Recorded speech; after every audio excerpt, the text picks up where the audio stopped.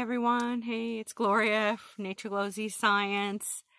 Um, so yeah, I was just out at the hot springs tonight looking up in the dark. I've never actually been in a hot spring in the dark because I'm always afraid, you know, to be by myself at night at a hot spring just because, like, you know, um, something dangerous could happen. But, anyways, I met a friend, a new friend at the grocery outlet in town, and we came and hung out at the hot spring and just it was really magical, really awesome. So I think a lot of you know I am a vanner. I'm I live full time out of my camper van. I actually have never shown the inside. well, I mean I teach from the back of the van and whatnot, and people have seen like, you know, the funny curtain rod. So yeah, just being really open about who I am, my lifestyle. Um, it's a life of freedom, and this spills over in my teaching and education that I believe that learning should be learning because you want to learn and being free to learn what you want to learn, how you want to learn. And that's why I've developed my unit study planner um, so that you can start to do that for your own homeschool.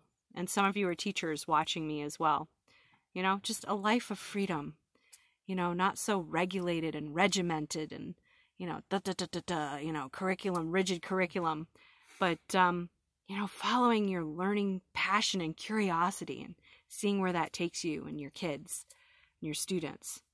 So go ahead, grab my unit study and uh, leave some comments about it. If any of you guys start using it, I'd love to hear. Um, unit studies are a perfect bridge between traditional learning and radical unschooling. Like, because you can still follow the learner's curiosity and interest, but also pull in, you know, the other subjects, the history, the literature related to your child's top interest. So go ahead, grab that unit study planner. Um, it'll be in the comments. I'm actually, this video is being posted in YouTube, Facebook, Twitter.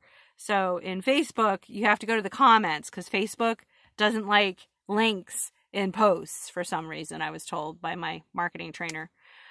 So yeah, grab the link, grab the unit study planner, look at the example, and talk to your child. Talk to your students about what they would like to learn.